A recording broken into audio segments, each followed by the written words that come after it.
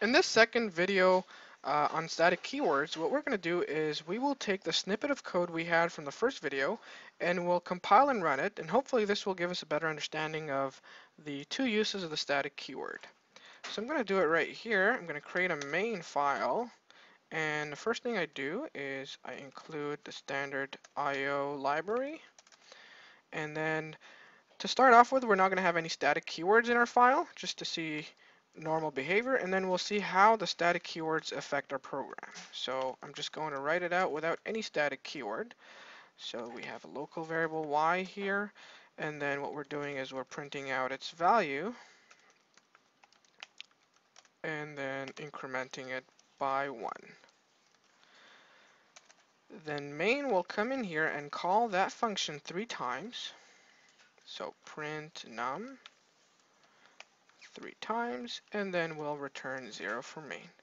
Now what do we expect here? Since uh, y is not declared a static, what will happen is that it will always be initialized to zero every time you call main, every time you call print num.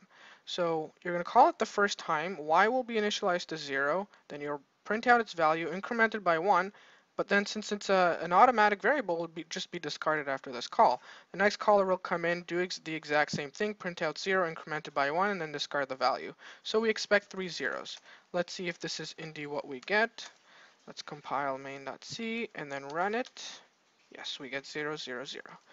So now what we're going to do is we will define y as being static. So now y is going to be statically allocated in the data segment of the process. And so it's going to retain its value across the calls. And like we said last time, we expect 0, 1, 2 because the first time we're going to be initializing y to 0, printing it out, and then incrementing it by 1. Then the next time we'll go directly to printing out the value. It's going to be 1, then we increment it by 1, we're going to get 2, and then the third time we call it again, we get 2. So let's see if this is indeed what we get. Compiling it and then 0, 1, 2, as expected. So this is the first meaning or the first usage of the static keyword inside a function. Now let's look at the second usage. So what we're going to do is we will explore what the static keyword does to a global variable and what it does to a function.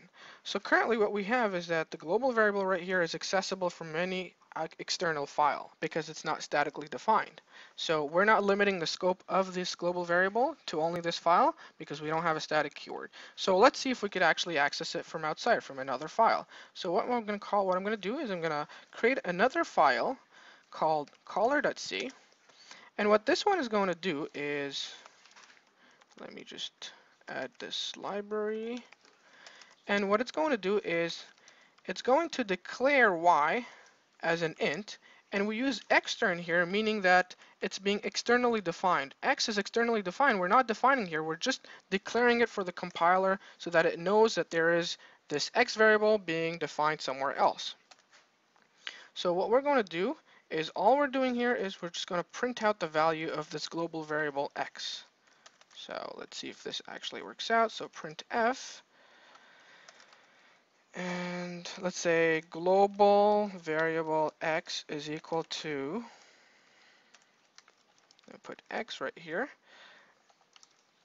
and then I'm going to have main call caller. So I'm just going to declare caller right here, or add the function prototype of caller.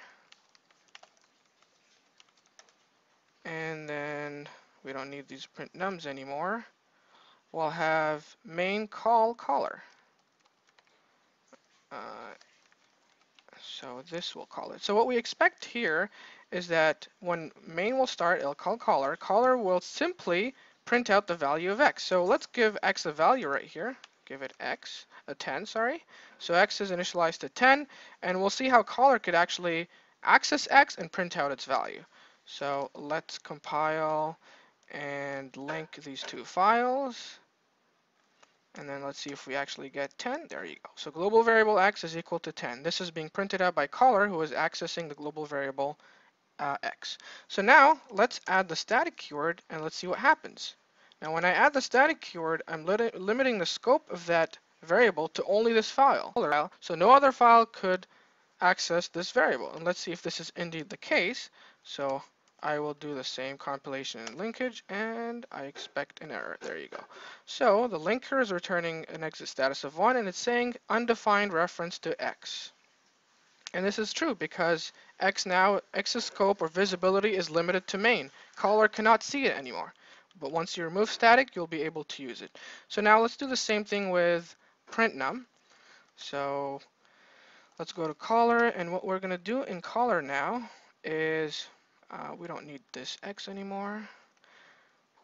I will call uh, print num. So that's why I called it caller because caller is going to call print num, which is a globally accessible function. So I just need to declare it here. I'm not defining uh, print num. I'm only declaring it for the compiler to know how to use it. So print num doesn't take uh, doesn't return anything and it doesn't take any arguments.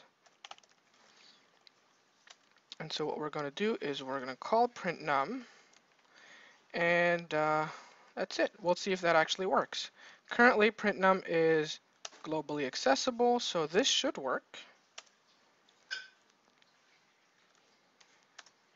See, it prints out zero. So if caller was to call print num multiple times like main did, then we expect 0, 1, 2, since if you look in print num, we are still using a static local variable.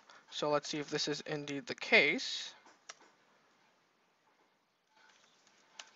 0, 1, 2, indeed. So now let us modify this function and declare it as being static. So I'm going to put the static right here and watch what's going to happen.